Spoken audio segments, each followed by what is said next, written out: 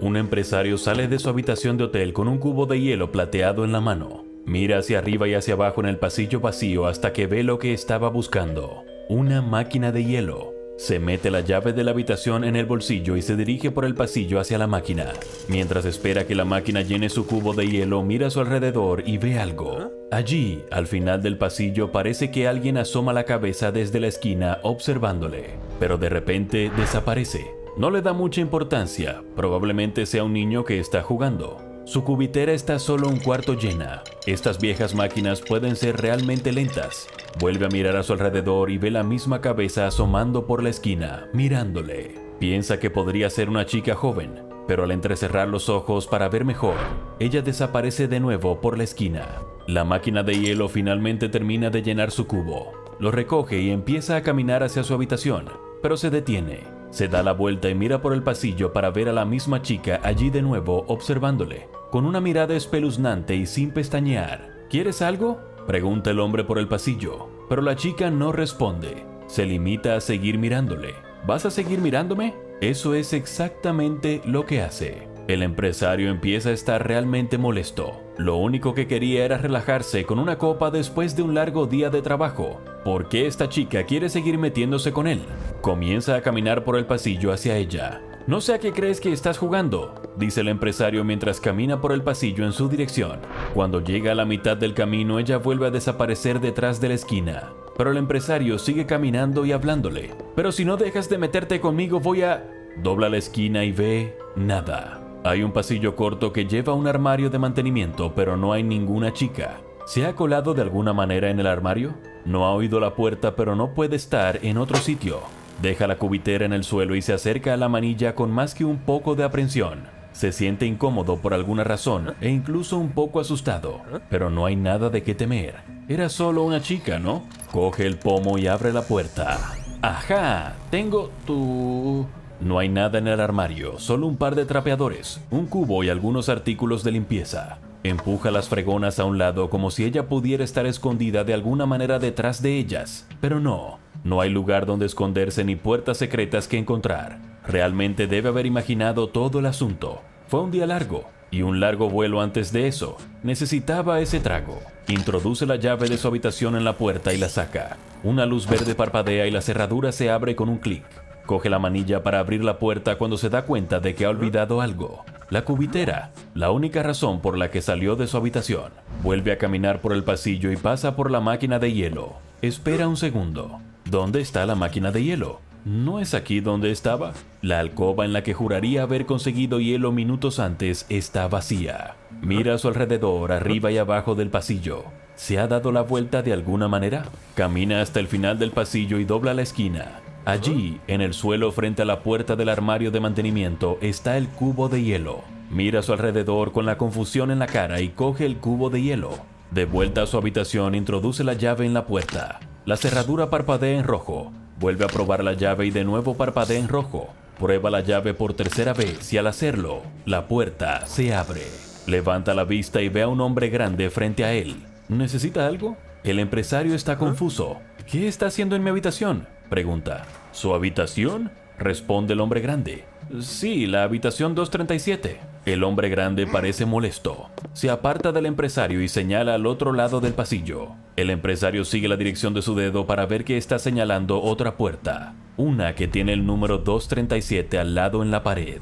El empresario mira el número que hay junto a la puerta que intenta abrir. 239. El empresario se ríe nerviosamente de su error mientras el hombre grande le empuja de nuevo y cierra la puerta tras de sí. De vuelta a su habitación, el empresario puede por fin sentarse y servirse una copa. Coge dos cubitos de hielo de la cubeta y los deja caer en su vaso antes de dar un largo sorbo. Ah, enciende el televisor, pero después de mirarlo durante unos minutos se da cuenta de que le cuesta concentrarse. Sea lo que sea el programa, va demasiado rápido y no puede seguir lo que está pasando. Apaga la televisión y coge un libro en su lugar. Tal vez la lectura le ayuda a relajarse y a orientarse. Sigue sintiéndose muy apagado. Abre el libro pero se confunde. ¿Es el mismo libro que compró en el aeropuerto? Parece que está escrito en un idioma extranjero. Es solo un montón de garabatos. Tira el libro sobre la mesa y bosteza. No es tan tarde, pero se siente muy cansado. Se levanta, se quita los zapatos y se tumba en la cama sin desvestirse. Está demasiado cansado para eso. Murmura para sí mismo por un momento medio despierto, hablando de cómo tiene que devolver ese libro extranjero cuando vuelva al aeropuerto. ¿Qué pretendían vendiéndole algo que ni siquiera puede leer? Sigue murmurando las cosas que le hará a la cajera que le vendió el libro durante un rato hasta que finalmente se queda dormido. Sus ojos se abren. Está oscuro. Debe llevar un rato durmiendo. La habitación también está fría. Va a taparse con las mantas, pero enseguida se da cuenta de que no puede moverse. Por mucho que lo intente, su cuerpo no responde. Ni un solo músculo. Solo sus ojos parecen funcionar. Está completamente paralizado, ni siquiera puede gritar pidiendo ayuda. ¿Qué ha pasado? ¿Y qué va a hacer? ¿Tuvo un derrame cerebral? ¿Se está muriendo? Mientras su mente se precipita a través de todas las posibilidades, de repente ve algo. Desde su cama en la habitación oscura apenas puede distinguir la puerta de su habitación de hotel y le aterroriza lo que puede ver a través de ella. Una figura ha aparecido en la puerta, literalmente en la puerta, como si atravesara la madera maciza. El hombre se muere de miedo cuando la cosa entra de lleno en su habitación y se gira para mirarle directamente. El hombre quiere gritar pero su boca sigue completamente entumecida. La figura comienza a arrastrarse hacia él. Ahora puede ver que es pequeña, lisa y completamente blanca. Lucha con todas sus fuerzas deseando que su cuerpo se mueva, pero no pasa nada. No puede ni siquiera susurrar. La cosa se sube a la cama y se sienta sobre su pecho. Reza por estar soñando y se dice a sí mismo que se despierte una y otra vez, mientras la criatura acerca su cara a la suya. Parece como si le estuviera mirando con sus cuencas lisas y sin ojos. Inclina la cabeza ligeramente hacia un lado y... Bienvenidos, soy el Dr. Bob, y no podríamos estar más contentos de que hayas decidido quedarte con nosotros mientras profundizamos en SCP-5172, una anomalía extremadamente peligrosa que se conoce con el nombre extremadamente poco amenazador de máquinas de hielo de hoteles norteamericanos. SCP-5172 es un fenómeno que solo afecta a los huéspedes que se alojan en hoteles situados en el continente norteamericano. Se desconoce cómo o qué hace que estos huéspedes se vean afectados, pero los que lo están empezarán a notar algo. Máquinas de hielo en el pasillo del hotel en el que se alojan. Puede que pienses que esto es perfectamente normal después de todo. ¿No tienen la mayoría de los hoteles máquinas de hielo? Si acabas de pensar esto, tengo malas noticias para ti, porque hay una alta probabilidad de que tú también hayas sido afectado por el SCP-5172. Verás, las máquinas de hielo son muy poco comunes en los hoteles, y es probable que nunca hayas visto una, o al menos no una de verdad. Permíteme que te lo explique. En los años 50, el fundador de la cadena de hoteles Holiday Inn, Kenon Williams, tuvo una idea que pensó que diferenciaría su hotel y atraería a los clientes, ofrecer más ventajas y comodidades que sus competidores. Por ejemplo, implantó una nueva política por la que los niños podían alojarse gratuitamente, algo que la mayoría de los hoteles cobraban en exceso. Los hoteles de la época también tenían la política de hacer pagar a sus huéspedes por el hielo, pero Williams decidió cambiar eso instalando máquinas de hielo en sus hoteles. Lamentablemente la maniobra de marketing no funcionó. El coste de las máquinas no se compensó con nuevos clientes y el plan se interrumpió a mediados de los años 60. La gran mayoría de las máquinas se retiraron y el resto se retiraron de los hoteles a medida que se estropeaban, pues ya no merecía la pena mantenerlas. A pesar de que solo existieron en los hoteles durante un breve periodo de tiempo, Todavía existe la creencia generalizada entre el público de que las máquinas de hielo se encuentran en casi todos los hoteles. En una encuesta realizada por la Fundación entre la población general, más del 80% de los adultos afirmaron tener recuerdos de haber visto una máquina de hielo en un hotel, un número que es literalmente imposible.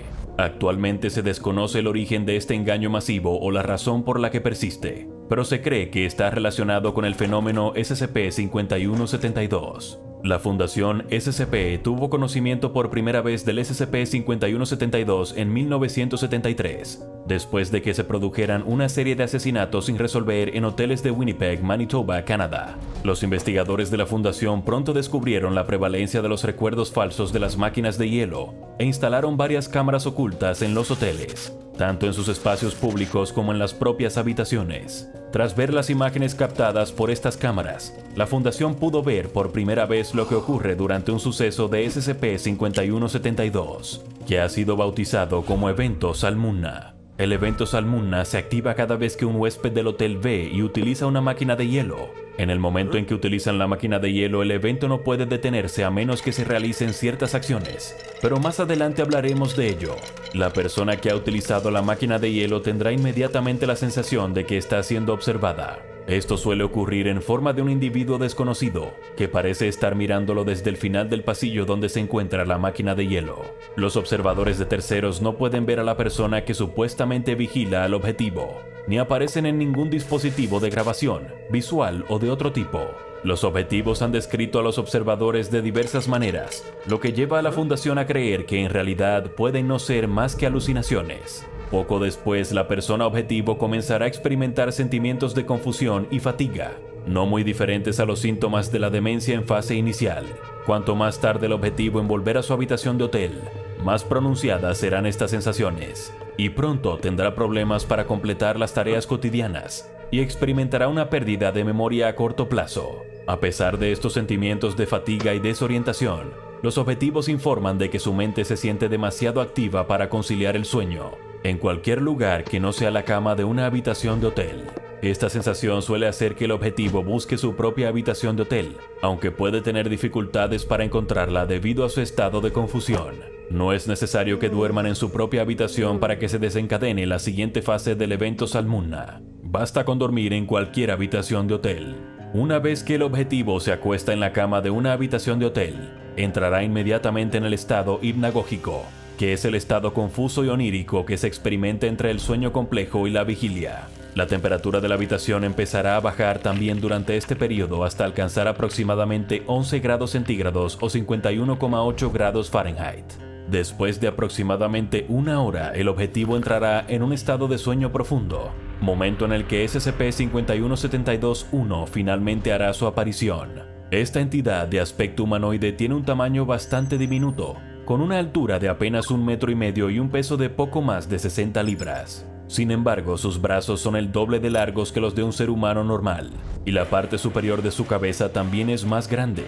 Aunque no es visible para los observadores presentes en la sala, las cámaras pueden grabar a la criatura. Después de atravesar la puerta de la habitación del hotel, la entidad 51721 comenzará a arrastrarse hacia la persona dormida, que se despertará para descubrir que está en un estado de parálisis del sueño. La entidad se subirá a la cama y se sentará en el pecho de la persona. Acercará su cara de piel suave a la del objetivo antes de abrir la boca, revelando un apéndice largo y delgado parecido a una probóscide que inserta en la cuenca del ojo del objetivo. Desde hace mucho tiempo se ha sugerido que puede estar administrando algún tipo de paralizante o anestesia directamente en el cerebro para poder pasar a la siguiente fase del evento Salmuna, la cosecha. El pecho de la entidad 51721 se abre para revelar un par de herramientas. Sacará las herramientas de su pecho y las utilizará para empezar a extraer cubos de 4 centímetros directamente del cuerpo del objetivo. La carne, los músculos, los órganos e incluso los huesos serán cortados y extraídos con la misma facilidad, y luego los colocará dentro de su propia cavidad torácica aunque comienza el proceso muy lentamente, recogiendo solo dos cubos por minuto al principio. Rápidamente aumenta su ritmo hasta 50 cubos por minuto, lo que hace que todo el proceso de recolección dure entre 2 y 3 horas. Una vez que ha terminado de recolectar, la criatura simplemente vuelve a colocar sus herramientas dentro de su cavidad torácica. Se arrastra de nuevo hacia la puerta de la habitación del hotel y la atraviesa una vez más. Pero el horror está lejos de terminar. SCP-51721 recoge todo el material orgánico del objetivo durante el proceso de recolección, todo excepto el sistema nervioso central que incluye la médula espinal, los nervios periféricos, las retinas y el cerebro. Estos se dejan tirados en la cama de la habitación del hotel después de que el 51721 corte y recoja cuidadosamente alrededor de ellos. Y el aspecto verdaderamente espeluznante del evento Salmuna es que el objetivo todavía está vivo en este punto, y continuará viviendo durante varias horas más en esta condición. Aún peor, los informes de los objetivos a los que se les interrumpió el evento Salmuna mientras estaban en medio del proceso de cosecha, describieron que estuvieron totalmente conscientes todo el tiempo.